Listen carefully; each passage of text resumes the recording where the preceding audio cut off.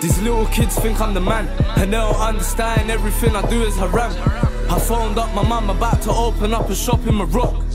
She said, son, you need to open up Quran because Allah's got a different plan. You think you're poor, you need to visit Sudan. You haven't visited Al Hajj, but you're going jail every week to visit the gang. How you're living is mad. I'm sorry, son, I did what I can. Your dad left, you were sitting in prams. I had to work a hundred hours just to get me a grand. I got divorced, I never got me a man. I worked hard to make sure my baby boy, he got all that he can. We got poor, but I stuck to the plan. I praised God and put my life in his hands.